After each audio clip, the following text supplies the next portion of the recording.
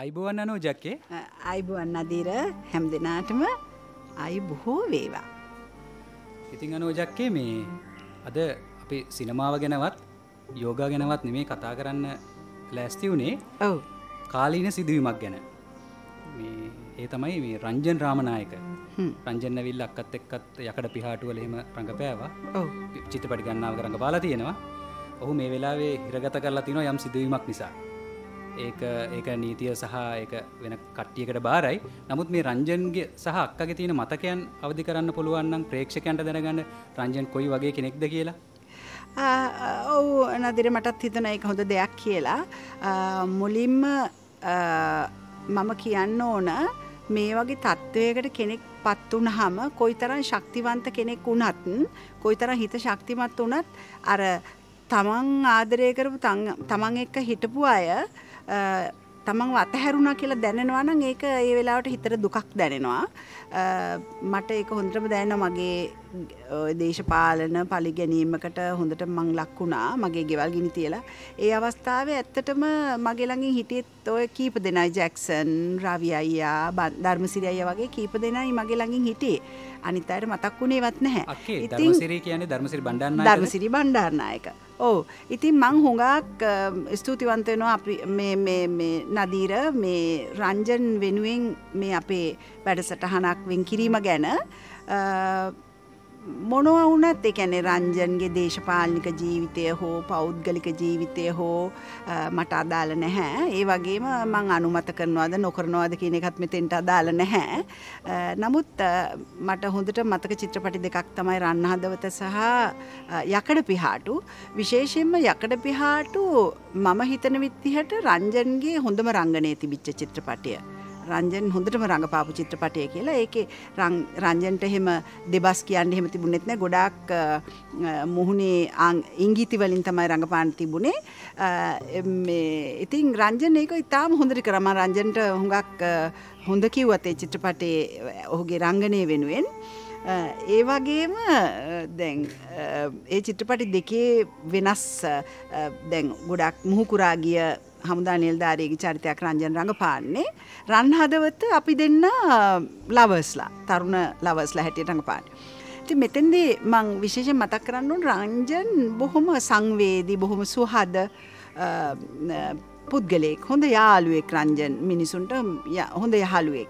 ඉතිං අ, ඔහු ඉන්න තැන හරි පිරිලා විහිළු කරනවා පාලුවෙන් කම්මලිකමින් ඉන්න නෑ අ, ඒ වගේ හරිම සැහැල්ලුවෙන් ජීවත්වෙන්න කැමති හොඳ අ, යාළුවෙක්. ඒ වගේමයි රංජන් මේ අ, මාවහෙම හරි අවස්සන්න කැමති තරහගසන් හරි කැමති. ඉතින් කාටර කියලෙනවත් දන්නම අවසනවා කියල. දැ විශේෂෙන් රංජන් බත් එක්ක ඔය ලූුණු හෙම කන්න කැමති. ඉතින් ලූුණු කාපුහම ඉටවස ලවසිස් කරන හරි අමාරුයි. මට ලූුණු මේ මේ ගඳ ආසනෑ මං ආසන ඉතින් මංකින අනේ ලූුණු කාල එන්ඩිපා මේ ලවසීන්ස් කරනකොට එදාට ලූුණු කණ්ඩිපා කියල. හාහා කියල පහෝදාට ලූුණු උඩට සුදුලුණුත් කාලයනවා ඇවිල්ලා. ඉති මව තරහගස්සන ඉතින් අ, මම් බයිනෝ රණ්ඩුවෙනවා කතානු කර ඉන්නවා. හැබැයි ඉතින් රංජන් කතානුකර ඉන්න දෙ- ඉඩ දෙන්න කොහොම හරි මොනාහරි කළ යාලු කරගන්නවා. ඉති ඒ අර මට පසෙකෙන අනේ ඔය තරහගස්සන්න නෙමේ අපි ඉතින් මේ ඉන්න ටික දවස ගවල් දොරවල්ලින් ඇවිල සතුටින් ඉන්න පැයි කියලා. අන්න ඒ වගේ රංජන්ගේ විදිහ.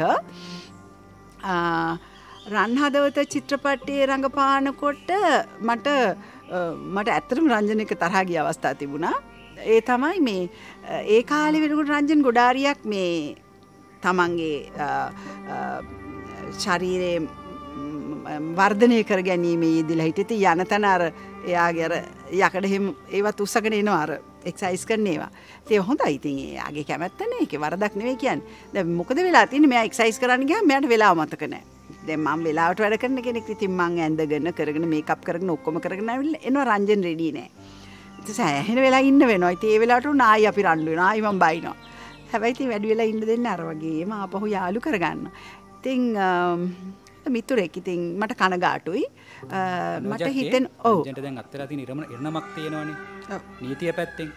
එතකොට මේක රංජන්ට වලක්ව ගන්න විදිහක් තිබ්බෙ නැත්ද මට හිතෙනවා මල්ලි මේ රංජන් බොහෝ දේවල් කරන්න හැදුවත් බොහොම හොඳ හිතින් කරන්න හැදුවත් විද්‍යාත්මක පදනමකින් තොරව අපි කොයි දේ කළත් යම් කිසි දෙයක් කරන පිළිවෙලක් යම් පදනමක් මත ඉඳගෙන කරන්න ඕනනේ රංජන්ට ඒක මග හැරුණා කියලා මට හිතෙනවා.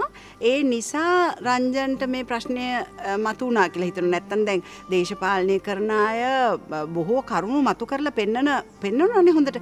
ඉතින් ඒ පදනමකින් තොරව කෙරුණදෝ කියලා මට හිතෙනවා. ඉතින් රංජන්ට ඊට වඩා මේ පිළිබඳව විමසිල්ලෙන් ඉන්න තිබ්බා. මේ පිළිබඳව හොඳට දැනුවත් භාවයකින් මේ දේවල් කලා නං ඒ තත්ත්වය වලක්වා ගන්න තිබ්බ කියල මට හිතෙනවා. රංජන් විජයිය සම්බන්ධුව කළ ප්‍රකාශය ගැන විජයියාව නැවැත්තුවනේ විජයව නැවැත්තුවා.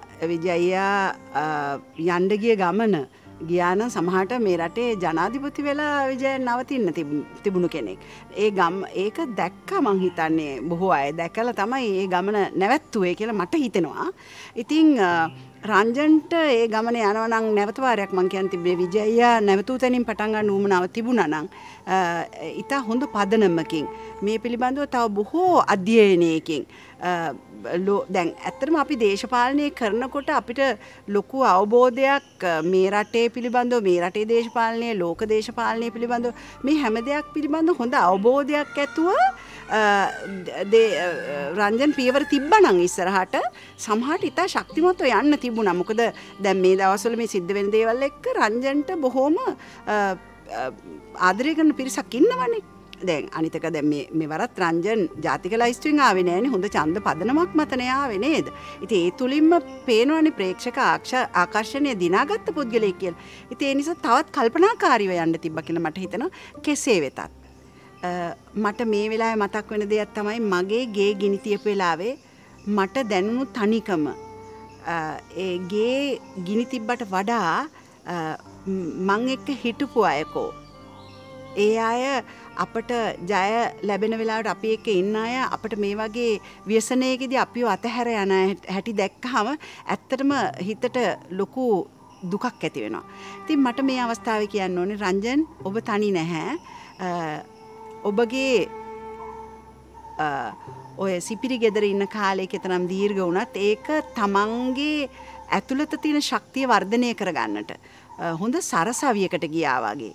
තමන්ට මේ පිළිබඳු ඉගෙන ගන්න තියෙන සියලුම දේවල් ඉගෙනගෙන හොඳ ශක්තිමත් මිනිසෙක් හැටියට මේ සඳහා නිවැරදිව කළ යුතු දේවල් මොනවද කියලා ඔබට අවබෝධ වෙලා ඒ පිළිබඳව හොඳ දැනුමක් පහළ වෙලා ඔබට බොහො මීටත් වඩා ශක්තිමත්ව ඔබ ගිය ගමන ගෙන යන්නට ඔබට හැකිවෙන්න කියලා මිතුරියක් හැටියට ඔබට ඔබ සමග එකට වැඩ කළ මිතුරියක් හැටියට මං ඔබට නිදුක් නිරෝගී සොය ප්‍රාර්ථනා කරනවා ඔබට ජයවේවා මිතුර.